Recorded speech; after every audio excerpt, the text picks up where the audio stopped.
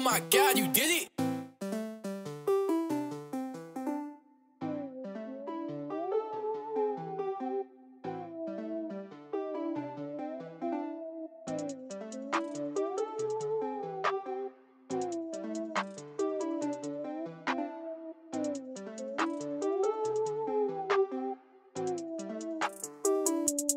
Reject Native.